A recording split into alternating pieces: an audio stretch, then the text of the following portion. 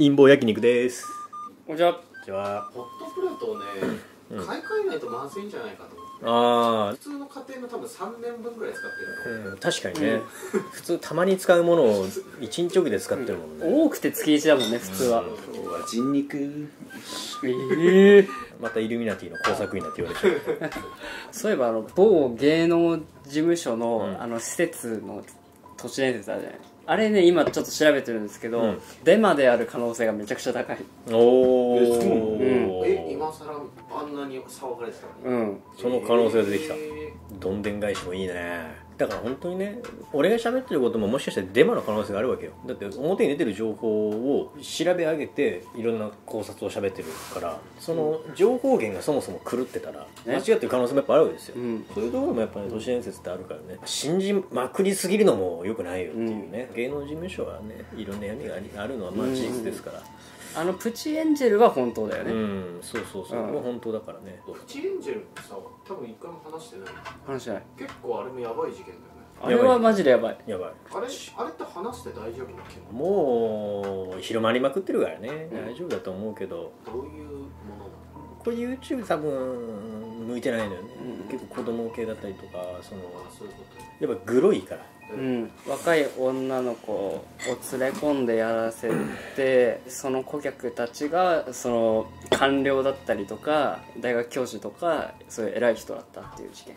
でエプスタインの事件とかもあれガチじゃん。あの枕営業がさ一時期話題になったけど、あれらはザラにある話なのよ。時効だったっていうっていうか、まあそういうことですね。六本木の裏風俗であの、うん。前田あっちゃんが100万で出てくるって話知り合いからそれはもう都市聞いたこと伝説よね。あるらしいよね。らしいぐらいの話だけど、うん。その上場企業のうん。トップにはそういう芸能人ダクリストみたいのがだから馬面ビデオもね上場させましょうよって。いうところです。今日はねあの動画で、まあ、後々公開するんですけど、ちょっとロシアの話をしたんで日露戦争の話を軽く日清戦争日露戦争とかってさ世界的にあのちょっとこういざこざがあってさ偶然起きちゃったんじゃないの？みたいな。学校でもあんま詳しくやんないよね。そうそう世界の出来事は全部仕組まれてると、マリー・アントワネットも世界の出来事はイルミナティが関与してるぞと、うん。フリーメイソンとかがっていうふうに言って死んでった人もやっぱいるわけよ。戦争っていうのは絶対にあの偶然には起きねえわけ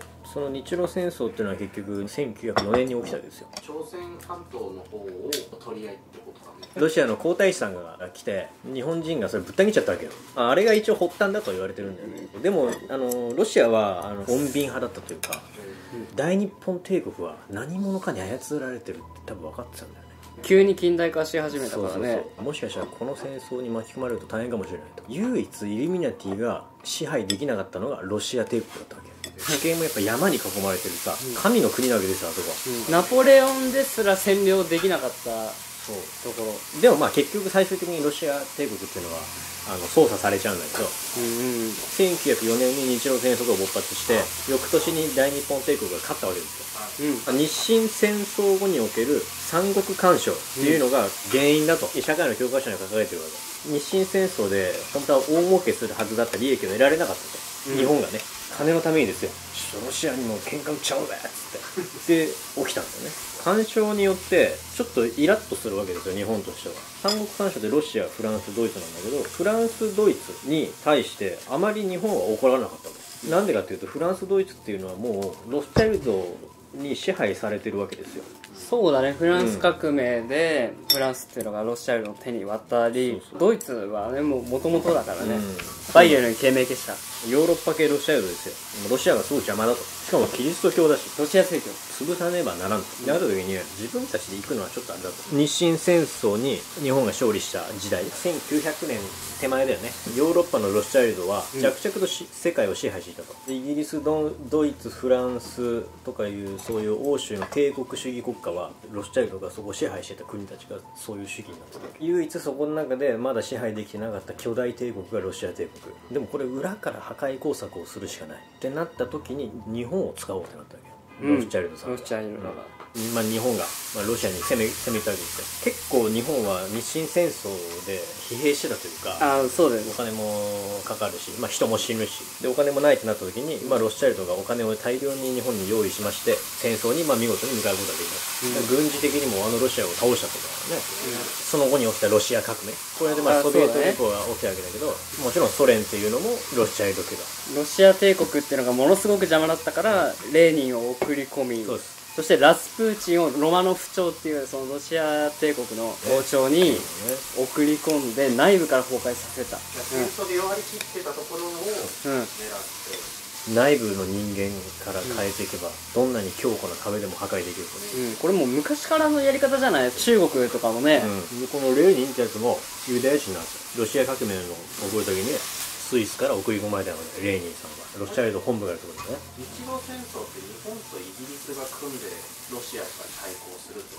イギリスにもそういうロスチャイルド系とかいたわけで。イギリスがあのもう本拠地みたいな感じ、うん。全然ありえるあるあるある、うんレーニンさんとかスターリンとかがさやってくるわけですよ。ここにもうあのいろんな革命団が立ち上がってもう内部からね壊れてソ連ができたってわけ。まあ、ここでも社会主義っていうかねそうそう利用されたんでね、うん。マルクスの社会主義が利用されたわけですよ、うん、社会主義めっちゃ良くないっていう話がどんどん国民に広がっていって革命が起きてしまったって革命は起きたのは、じゃあロスチャイルドだったっていう。で内部から崩壊することに成功した、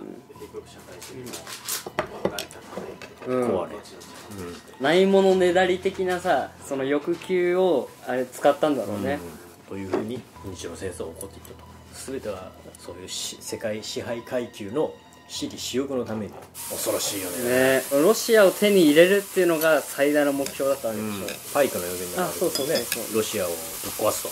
支配すると。ロシアをイルミナティの支配下に置くっていうことを企んでたらしい。これが3つの大戦の一つ。日露戦。争結局最後アメリカがポーツマス条約でうん。前でやめとけって。の、うん。で日本はまあ朝鮮半島ちょっとやるから、もうみんな中国から離れろ。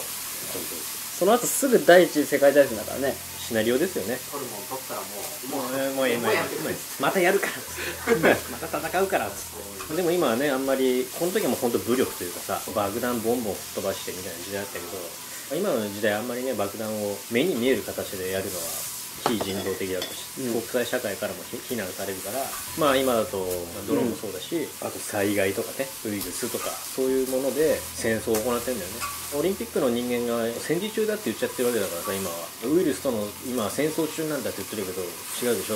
まあ、戦争のルールがあるからさ、うん。兵士じゃないと殺しちゃいけないそうそうんだよね民間人を巻き込むなんていうのはこれは本当にやばいことなんです。あってはならんことなんだけど。国際法っていうのもね破ったからといって罰則がないからいくらでもできちゃうんだよね今日はもう授業っていう感じで。確かに。懐かしいね。え。教科書の裏側だよね。でもこういうのって結局事実だったわけじゃん。そうなんですよ、うん、ちょっと不謹慎だけどさ一番なんか興味深いよね。うん。毎回出てくるんだよロスチャイルドが。うん。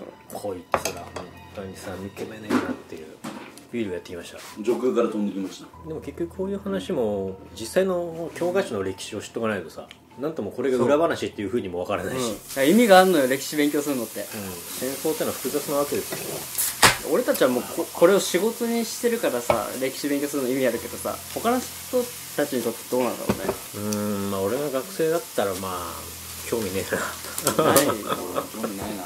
裏の話を知るからいやもちろんやってくるよね。今まで勉強してきたこととつながってくるからね、そう。日露戦争の発端となった日清戦争も関係あが。ある。うん。そうある。ってなったらそれすらも巻き起こしたのかどうか？そうだよ。日清戦争ももちろんもちろん煽られ煽った話だし。日中もそうだよね。なんだろう、うん。第二次大戦前のね。大日本帝国っていうものがそもそももう作られてるじゃない。ロシア領でねフリーメーカーによって作られて。でもこいつらは暴走しちゃったじゃない。第二次世界大戦で。バッコンバッコンやっちゃってアメリカにも喧嘩売っちゃって。これねあのアメリカからしたら意外と想定外だったらしいの。やばい。こいつら本当に侍じゃねえかってなって力与えすぎたってなってアメリカの属国というか支配下に置かれるはずだったのに暴走をしちゃってな満州行ってさ中国人ぶっ殺しまくったりとか、そういうや野蛮なことをし始めてちょっと違う違う違うってなって原爆バーンやってもう終わりねっつって、今度は弱体化するよっつって GHQ が入ってきた。第二次大戦の発端もさ日中戦争じゃない？日本が中国に戦争を仕掛けて、アメリカがそれはあかんやろって言って、うん。石油を制限して、そこから ABCD 包囲も日本が経済的に苦しくなっても戦争を起こさざるを得なかったっていうね。日清戦争が最後下関条約で、はい終わりますみたいな、だってそれにムカついたロシアが始めたことみたいなうん。なんでお前がムカつくの？確かに。そうそうそね。そういう側面から見たらまあちょっと面白みも増すわ。ううん。うん、うん、焚きつけてるやつがいるんだよね戦争をね。やっぱ変だよね教科書に書かれてることって普通に。いきなり始まる。うん、うんで教科書ってつつながりがないから面白くない。の邪馬台国急に消えるし。だから歴史面白面白くないんだよ。参考書じゃないけどなんかいるじゃん。歴史好きの塾の先生とかさ、うんうん。まあ書籍出してさ、うん。1から10まで全部つなげる。ちゃんと話のつながりになってる。日本の歴史のね、ああいうの見た方が面白いよ教科書見るより。教科書はつながりがなさすぎて話が理解できないの。陰謀的に見てた方が見てたらおもろいかおもろいね、うん。陰謀なわけですよという話でね。今の状況っていうのもね偶然じゃないですよと。コロナもなもう世間ではもう中国がばらまいた説がもう濃厚になっているからね。そうなんですもうメディアでも。マジで頭おかしいのよ。年寄りしか死んでないんだから。年寄りをその軽蔑してるわけじゃなくて年寄りは死ぬのよ。風邪もインフルでも若者は死んでないし。10人とかそこらでしょ世界的に経済を止めておかしな話ですよ。オリンピックの選手村では何でもありなわけでしょ？酒持ち込んでもいいし。コンドームも大量に配られて。メイクラブも OK なうん濃厚接触 OK なわけですよ。我々は居酒屋行っても酒飲めないしみたい飲んでるけどな場所によっては飲めるからね。うんなめんなよ。東京でもねあのあるよ。結構アルコール提供もしますみたいなとこ。街に12点はあるよね、うん、ちょこちょこ出始めてきてね。まあもうゆり子には従わんとと、うん、のゆり子バズ・ライトイヤーのクールビズが出てくるの楽しみなんだけど小池百合子さんのさ、うん。服がバズ・ライトイヤあーにそう似てるって。うん WHO がさ今日の4時45分にさ、うん。中国ではなくイタリアでコロナ起源調査。でイタリア起源説を。WHO か WHO はさ中国とズブズブなわけですよ。そうだよね。だから何としても中国のせいにはしたくない。中国の研究所はあれフランスが支援してんだよね。うんいろいろ調べていった方がいいんじゃないですかと。個人個人ね、うん。ということで信じるか信じないかはあなた次第です